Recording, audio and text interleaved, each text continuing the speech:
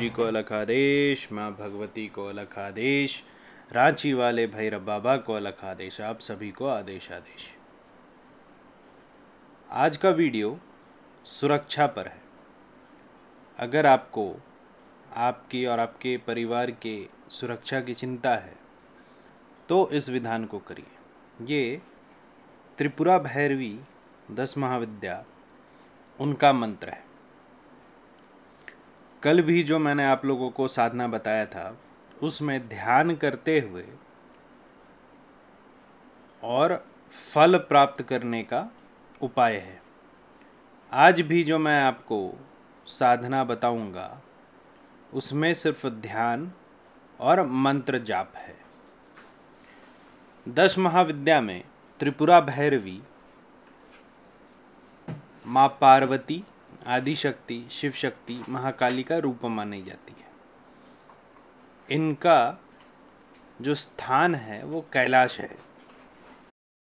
Bhagwati sunflower मतलब सूरजमुखी पर विराजती हैं और इनके भैरव भैरव ही हैं। जो इनका मूल जाप चलता है, वो ओम हसैम, हसक्रिम, हसैम, भैरवाय, नमो नमः है। लेकिन ये इनका मूल मंत्र है मतलब जिससे कि आप इनका रोज जाप करें।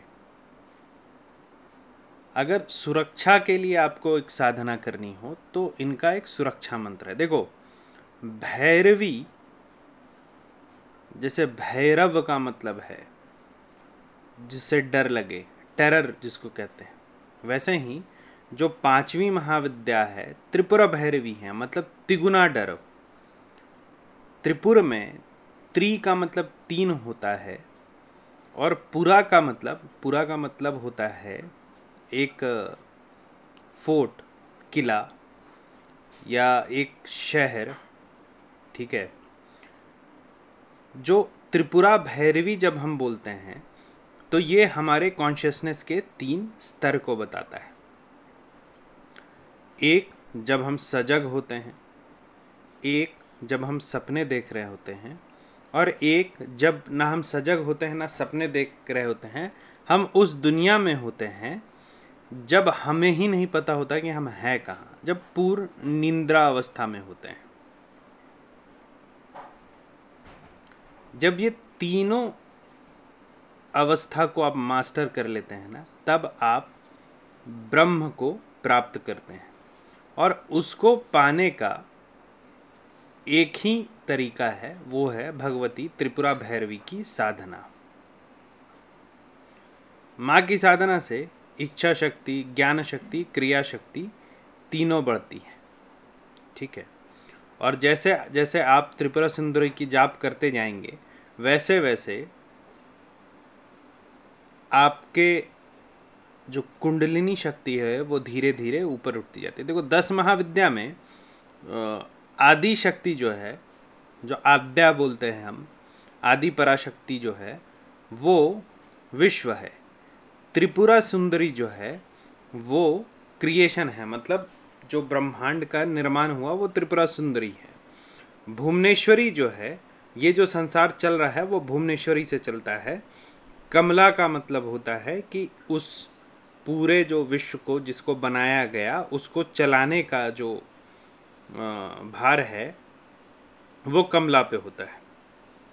भैरवी का जो मुख्य आपको ज्ञान मिलेगा, वो कुंडलिनी तंत्र में मिलता है। भगवती त्रिपुरा भैरवी को शुभंकारी भी बोला जाता है मतलब जो इनको माता के रूप में देखता है, उनका ये हमेशा ख्याल रखती हैं। अब आते हैं कि माँ का ध्यान कैसे करते हैं। माँ का ध्यान करते हैं कि उस नवमंडल में जहाँ पर सहस्य, सहस्र सूर्य हों। ठीक है? माँ भगवती उसमें लाल साड़ी में बैठी हुई है, गले में मुंडमाला है, रक्त चंदन लेपी हुई ये जो पूरा आप ध्यान करेंगे, ये अपने आप सहस्र चक्र पर करेंगे। ठीक है?